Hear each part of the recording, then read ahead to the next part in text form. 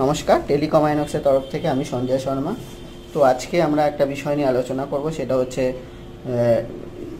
Spectrum CPU, যেটা নতুনভাবে launch করেছে, নাম দেওয়া হয়েছে হচ্ছে ইউনিসক।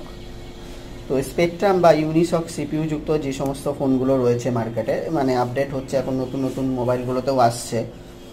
যেমন আমাদের ওপো, ভিভো শাওমি পোকোতেও আছে আমাদের এই সিপিউগুলো সিপিইউ দিয়ে বেরিয়েছে বিভিন্ন সেট তো এই ফোনগুলোকে আমরা যদি সফটওয়্যারে কোনো কাজ করতে চাই, ঠিক আছে? সেক্ষেত্রে বুটিংয়ের জন্য আমরা একটা কেবিল ব্যবহার করব।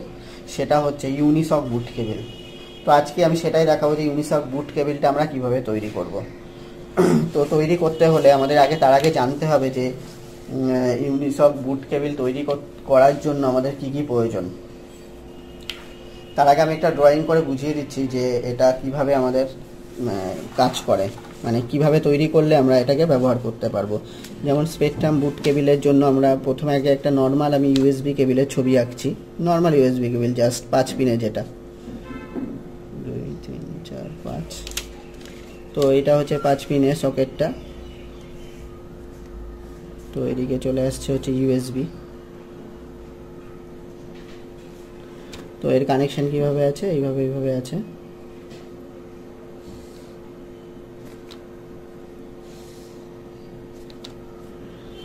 আর এখানে রয়েছে পাঁচটা, এখানে চারটে, তো এখানে একটা কানেকশান থাকবে না, সেটা হচ্ছে এটা। আমি যদি নাম্বারিং এখানে করি এক, এটা, তাহলে হবে কোনটা? পাঁচ হচ্ছে এটা। তো এক নম্বরটা হচ্ছে, এবারে কানেকশানগুলো একটু দেখিয়ে দিই, কোনটা কি কাজে ব্যবহার করা হয়। যেমন এটা হচ্ছে জিএনডি মানে মাইনাস তারপরে এক নম্বরটা হচ্ছে ভি চার্জ ভি সিএইচজি বা ভিভাস ভি ইউএস ভিভাস মানে এটা হচ্ছে চার্জিংয়ের যে ভোল্টেজটা দরকার ফাইভ ভোল্ট সেটা।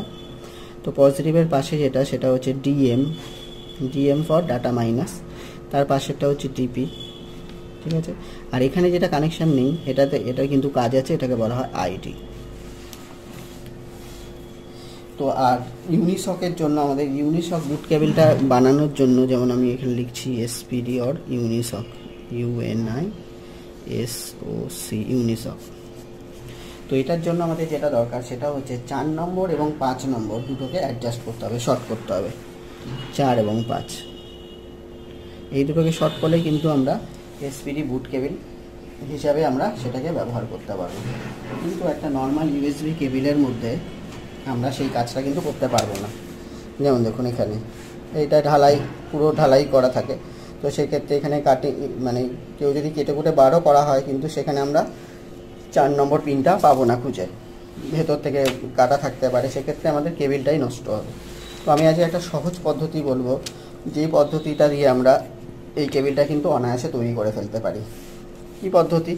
তার জন্য জান, তার জন্য লাগবে হচ্ছে একটা ওটিজি যদি টাইপ সি মোবাইল হয় টাইপ সি ওটিজি যদি normal type B OTG type B যদি ফোন হয়, তাহলে টাইপ বি ওটিজি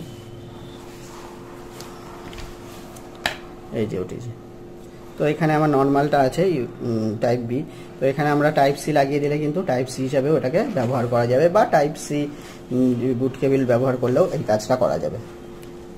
এটা নাই আমি বুঝে গেলাম। তো ওটিজি কেবিল কেন? ওটিজি কেবিল দিয়ে আমাদের এটা, এটার জন্য কি কাজে ব্যবহার করা হবে?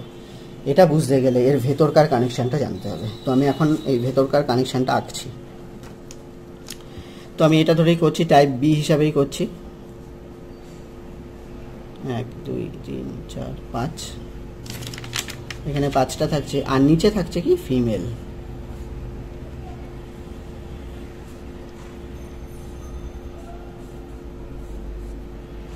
এখানে থাকছে আমাদের চারটে। এখানে আমরা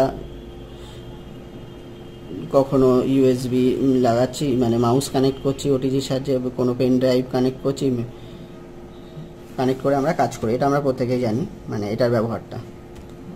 তো আমি এবার ভেতরকার লাইনগুলো করে দিই।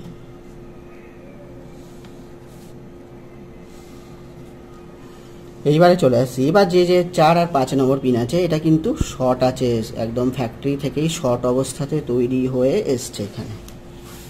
মানে চার পাঁচটা শর্ট না করলে ওটিজি কাজ করবে না মোবাইলে একটা অন সেটে মোবাইলে ওটিজি যদি আমি এনেবেল করতে চাই, সেক্ষেত্রে কিন্তু তার ভেতরে চার পাঁচ যতক্ষণ না শর্ট হবে, ততক্ষণ কিন্তু ওটিজি আইসি অ্যাক্টিভেট হবে না, ফলে আমাদের আউটপুট হবে না। যেই পাওয়ারটা আমরা ওটিজি কানেক্ট করলে আউটপুট হয় মানে এই মাথা থেকে, এটা যখন আমরা ফোনে ঢোকাই, এই মাথা থেকে ভোল্টেজ আউটপুট হয় এবং ডাটা আউটপুট হয়, সেটা কিন্তু হবে না, যদি চার পাঁচ শর্ট না থাকে। এবারে আসছি, তো যে আমাদের ইউনিসক বা স্পিডির জন্য এটা কি কাজে লাগছে? আমরা কি দেখলাম, আমি এখানে একটা ড্রয়িং করেছি, এখানে দেখেছি চার পাঁচ শর্ট চার পাঁচ শর্ট করলে কিন্তু মোবাইলের মানে স্পিডি বুট কেবিল হিসাবে ব্যবহার করছি। বুট কেবিল হিসাবে ব্যবহার হবে। সেটা হচ্ছে সফটওয়্যার করার সময় মোবাইল যখন বন্ধ থাকছে, সেই সময় যদি চার, পাঁচ শর্ট অবস্থাতে আমরা কানেক্ট করি মোবাইলটা কানেক্ট হয়ে যায়। তো এটা ছাড়াও যদি নর্মালি আমাদের কোনো এটা কেন কাজে লাগবে সেটাও একটু আলোচনা করি। এই কেবিলটা কেন লাগবে? ধরুন কোনো মোবাইল এসছে যার বুট কিটা প্রবলেম আছে। মানে স্পিডি সিপিইউ যুক্ত যে সমস্ত ফোন আছে, তাদের আমাদের ফ্ল্যাশ করার সময় বা লক খোলার সময় যাই করি না কেন, তার জন্য আমাদের তো কানেক্ট করতে হয় কম্পিউটারের সাথে। তো কানেক্ট করার জন্য ভলিউম সুইচ আমাদের ব্যবহার হয়। ভলিউম আপ কোনো কোনো মডেলে কোনো কোনো মডেলে ভলিউম ডাউন এবার ধরুন কোনো মডেল এসছে যার ভলিউম ডাউন বাটনটা খারাপ বা যেটা বুট কি সেটা খারাপ। তো সেক্ষেত্রে তো আর আমি ব্যবহার করতে পারছি না মানে কাজ করতে পারছি না। সেক্ষেত্রে আমাকে ভলিউম সুইচ আগে রিপেয়ার করতে হবে, তারপরে কাজ। তো সেই জায়গায় যদি আমরা একটা বুট কেবিল তৈরি করে রাখতে পারি, তাহলে আমাদের আর কোনো কি প্রেস করার প্রয়োজনই নেই। ডাইরেক্টলি আমরা এটাকে কানেক্ট করব তাহলে মোবাইলটা কাজ শুরু হয়ে যাবে মানে কানেক্ট হয়ে যাবে কম্পিউটারের সাথে। তাহলে বোঝা গেল, চার পাঁচ শট তো আমরা কি দেখলাম যে ওটিজির মধ্যে ফ্যাক্টরি থেকে চার পাঁচ শট করাই আছে। তাহলে এটা আমরা এসপিডি বুট কেবিল হিসাবে ব্যবহার করতে পারি। একদম তাই। তো এটা নয় আমি ঢুকিয়ে দিলাম মোবাইলে বুট হিসাবে ব্যবহার করলাম। কিন্তু আর একটা পয়েন্ট আর একটা দিক তো কম্পিউটারে লাগাতে হবে। তো সেক্ষেত্রে আমাদের একটা কেবিলের প্রয়োজন, সেটা হচ্ছে মেল টু মেল দেখুন ভালো করে, দু মাথাতেই কিন্তু মেল থাকতে হবে। এই দু মাথা মেল যেটা আছে, সেই কেবিলটা দিয়ে আমরা এই কাজটা করতে পারব। এটা কি করতে হবে? ওটিজির যেটা হচ্ছে ফিমেল সকেট সেখানে ঢুকিয়ে দিলাম। ব্যাস, তৈরি হয়ে গেল। এই মাথাটা ঢুকে যাবে কম্পিউটারে এটা চলে যাবে কম্পিউটারে আর এটা চলে গেল ফোনে। ব্যাস, আমাদের কাজ কমপ্লিট তাহলে বোঝা গেল ইজিলি কিন্তু আমরা একটু বুদ্ধি থাকলেই, একটু ব্রেন খাটালেই কিন্তু আমরা এই এসপিডি বা ইউনিশক বুট কেবিলটা অনায়াসে তৈরি করে ফেলতে পারি। আশা করছি আপনাদের এই ভিডিওটা ভালো লাগবে। ভালো লাগলে লাইক করুন শেয়ার করুন। নমস্কার।